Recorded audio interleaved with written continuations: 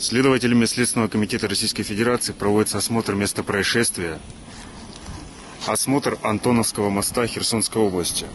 В ходе осмотра обнаружено 4 воронки от попадания ракеты, а также повреждения, которое получила строительная техника, производившая работы на данном мосту.